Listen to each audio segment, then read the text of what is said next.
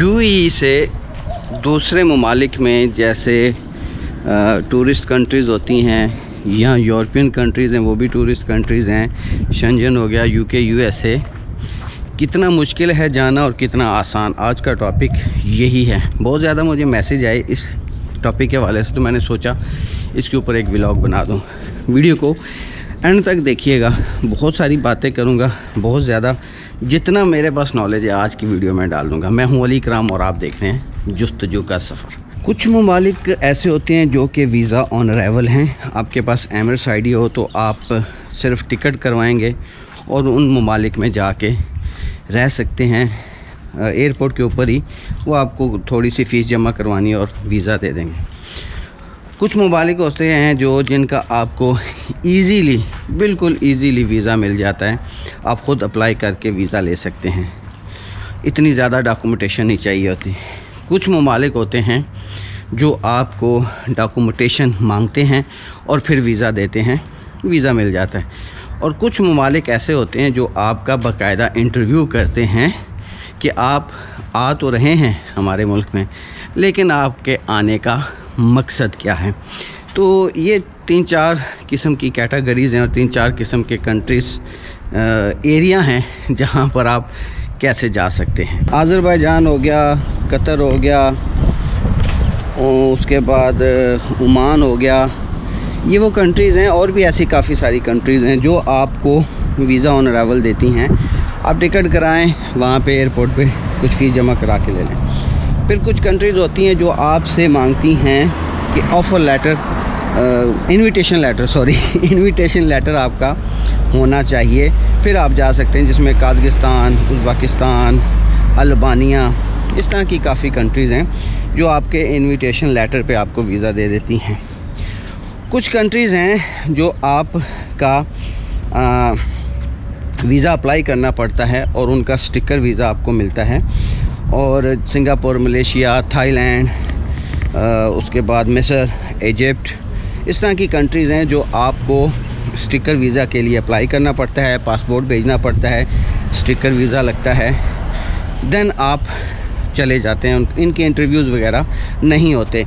इनके लिए कुछ डॉक्यूमेंटेशन होती है, जिसमें आपकी बैंक स्टेटमेंट ये तकरीबन सब ही के लिए ये चाहिए होता है। आपकी तीन माह की बैंक स्टेटमेंट जिसमें तुर्की भी शामिल है, वो भी स्टिकर वीज़ा है।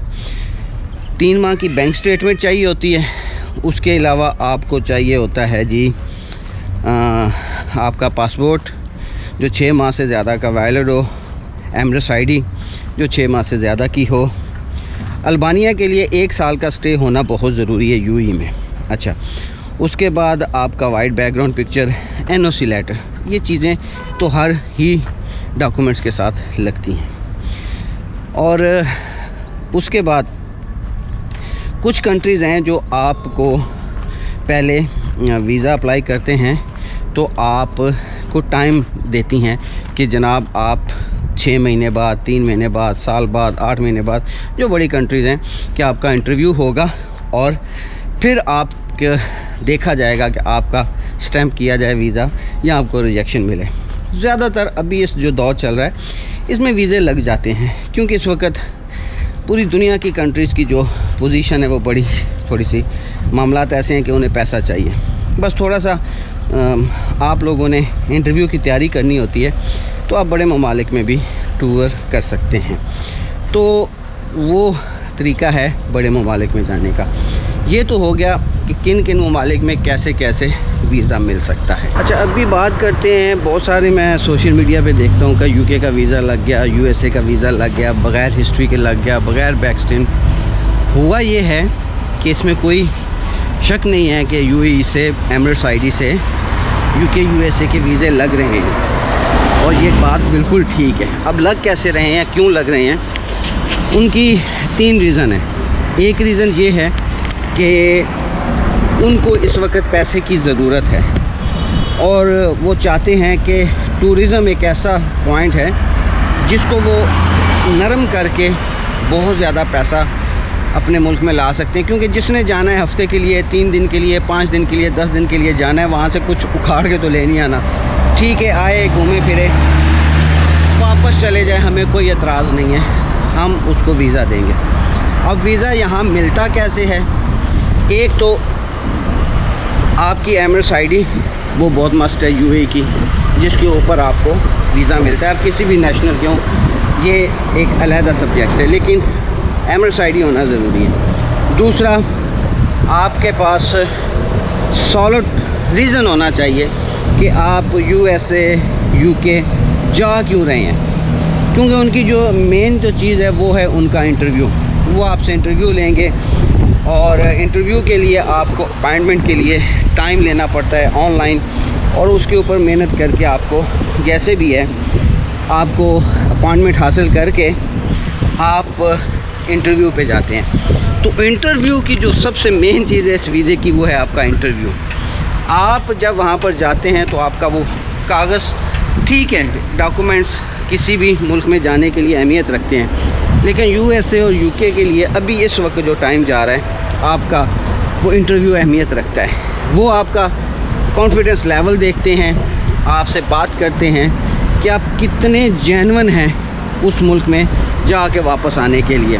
क्योंकि वो आपसे बेसिकली श्योरिटी मांगते हैं गारंटी मांगते हैं इस चीज़ की, उस सवाल और जवाब में कि आप जाएँगे तो वापस आएँगे। तो आपके इंटरव्यू में ही 99 परसेंट वो तजिया निकाल लेते हैं कि ठीक है जी, ये बंदा हमें कहीं लग रहा है कि ये झोल कर रहा है। ये इसकी अल्फाज और इसका जो स्टाइल है और इसके जो तेवर हैं आपस में मैच नहीं हो रहे तो वो रिजेक्शन कर देते हैं। और जब आप कॉन्फिडेंस के साथ उनके सवालों के जवाब देते हैं मैक्सिमम सवाल एक जैसे ही होते हैं। बस घुमा फिरा के वो पूछते हैं और उन सवालों के जवाब में आपने पास होना होता है और फेल होना होता है। तो ये तरीका होता है आपका। इसी तरह आगे एयरपोर्ट पे भी यही होता है। वो आपसे यही सवाल जवाब पूछते हैं, जो अम्बेसी में पूछे गए हैं। और आपका कॉन्फिडेंस ही आपको आगे लेके जाता है। तो ये होता है यूके और यूएसए में विज़िट करने का तरीका। कुछ ममालिक होते हैं जो आपकी ट्रैवल हिस्ट्री भी चेक करते हैं कि आप पहले किस किस कंट्री में जा के आ चुके होते हैं। तो ट्रैवल हिस्ट्री इसलिए ज़रूरी होती है अब ट्रैवल हिस्ट्री के लिए आपका स्टैंप वीज़ा भी काबिल कबूल है, वो भी आखिर आप विज़िट करके आए हैं, किसी एक मुल्क में दूसरे मुल्क जाकर वापस आए हैं। लेकिन जो स्टिकर वीज़ा होता है ना, ये तुर्की, सिंगापुर, मलेशिया, थाईलैंड, इजिप्ट, ये सारे स्टिकर वीज़ा लगाते हैं, काजगिस्तान, उज़्बाकिस्तान। ये वीज़े आपके पासपोर्ट की खूबसूरती को बढ़ाते हैं। अब देखें ना, अब जैसे यूएई के अंदर आप का आप एमरस आईडी जो है, उसी के अंदर सब कुछ है। पहले आपके पासपोर्ट के ऊपर भी आपका एक स्टिकर लगता था तो वो कितना वैल्यूएबल था अच्छा लगता था। अब, वो स्टिकर लगना ख़त्म हो गया है, ठीक है?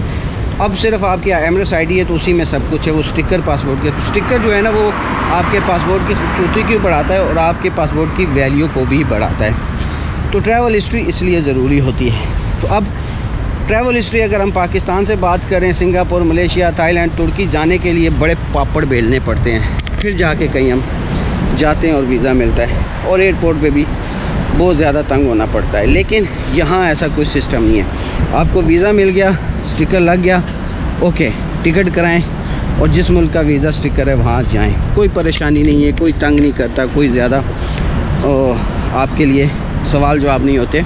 और आप जाते हैं और वापस आ जाते हैं। जब आप जाते हैं और वापस आ जाते हैं तो फिर बड़ी कंट्रीज़ और ज़्यादा वेलकम करती हैं कि गुड यार, इसका तो बैकग्राउंड अच्छा है, इसकी हिस्ट्री अच्छी है, वो है ट्रैवल हिस्ट्री कि ये बंदा किसी भी कंट्री में गया है ओवर स्टे नहीं हुआ, अपने टाइम पे एंटर हुआ है, अपने टाइम पे वापस आया तो इसलिए इसको हम अपने मुल्क में आने की इजाज़त देते हैं, क्योंकि ये हमारे मुल्क में आएगा, पैसा लेके आएगा, घूमेगा, फिरेगा तस्वीरें खींचेगा वीडियोस बनाएगा, लोगों तक पहुंचाएगा और और लोग भी मोटिवेट होकर फिर आएँगे। तो ये तरीका होता है जी सारा किसी और मुल्क में यू से जाने के लिए। अब आप कैसे अप्लाई करें? ये इशू आ जाता है। 95 परसेंट लोग खुद अप्लाई नहीं कर सकते। तो फिर बहुत ज़्यादा लोग यू में हैं जो आपकी कंसल्टेंसी कर सकते हैं। आपने कंसल्टेंसी वाले को ढूंढना है। हर कोई अपना चूरन बेच रहा है। मैं किसी को भी अच्छा नहीं कहूँगा किसी को भी बुरा नहीं कहूँगा।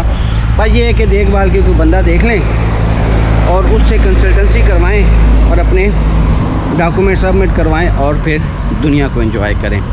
तो ये सारा जी आ, मेरे बहुत सारे फॉलोअर्स उनके सवाल और फिर उनके ये जवाब थे कि यूएई से दूसरी कंट्री में हम कैसे जाएँ। तो काफ़ी सारे लोगों ने कहा है कि अली भाई आप ख़ुद क्यों नहीं कंसल्टेंसी करते? तो भाई टाइम थोड़ा शार्ट है, इसलिए मैं नहीं करता, वरना पैसा किसको नहीं अच्छा लगता आते हुए। जब कंसल्टेंसी कोई करता है किसी की या किसी के लिए काम करता है तो डेफिनेट उससे भी वो कुछ ना कुछ लेता है। तो खैर दुआ में याद रखिएगा। ये था मेरा आज का व्लॉग मिलते हैं अगले व्लॉग में। अल्लाह हाफिज़।